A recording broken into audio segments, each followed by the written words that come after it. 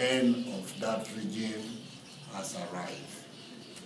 The current shedding of blood of innocent people, which is taking place in Uganda,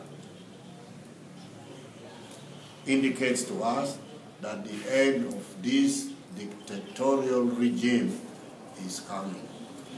I want to appeal to everybody to continue to have courage, to come and confront the regime in the language that the regime itself understands.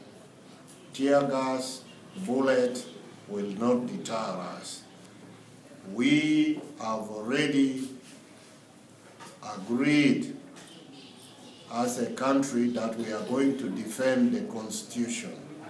And we shall defend it with our blood. No one should tamper with the Constitution of Uganda.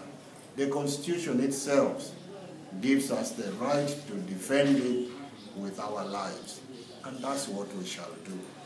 So, all people in Lango, in Uganda, we should continue to stand up to defend the Constitution so that the Constitution will defend us in the future. Thank you.